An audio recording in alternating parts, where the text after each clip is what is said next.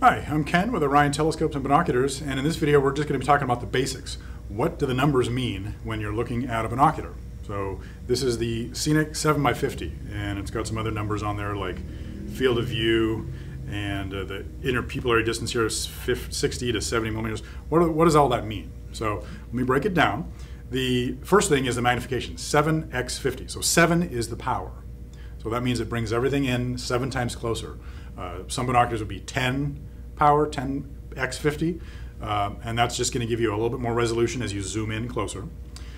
The second number is the size of the lens in millimeters. So this being a 7 by 50, that means this lens here is 50 millimeters across, about 2 inches.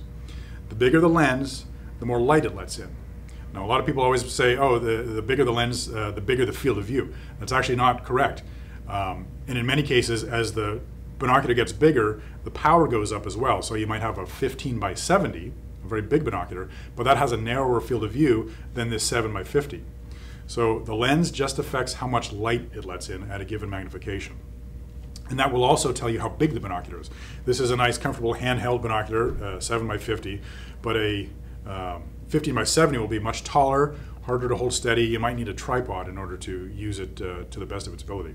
So handheld 7 or 10 by 50 is great. The other important number on the binocular is the field of view, and it's usually listed in degrees. So here it is, field of view 7.1 degrees. That's an angular field of view. It's like the slice of the pie. If I spread my arms out this way, that's 180 degrees. So I'm seeing a 7.1 degree slice of view as I look out uh, into the distance. That number will go down as the magnification, as the first number, the 7, goes up.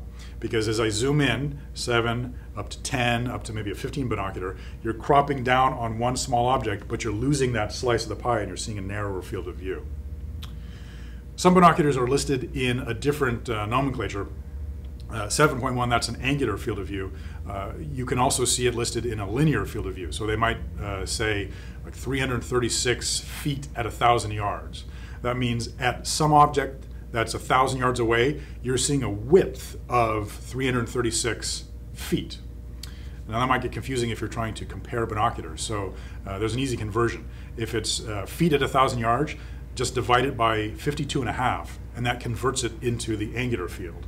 And then conversely, if it's an angular field, just multiply 7.1 times 52 and a half, and you'll get the feet at a thousand yards back. All right, well, that's uh, pretty much it. Actually, one other thing I forgot to mention, the uh, interpupillary distance. There's a little scale on the side there, 60 to 70 millimeters. That's just a general uh, uh, measurement of the distance between the lenses. When you bend them in like this, that's 60. When you pull them out like that, that's 70 pretty much everybody's eyes are somewhere in between those two. So uh, unless you have a very small face with really narrow eyes, um, any standard binocular should fit your face uh, well enough, and both eyes will, uh, both lenses will hit the pupils of your eye to give you a, a, a perfect image. All right, well, thank you very much. Clear skies.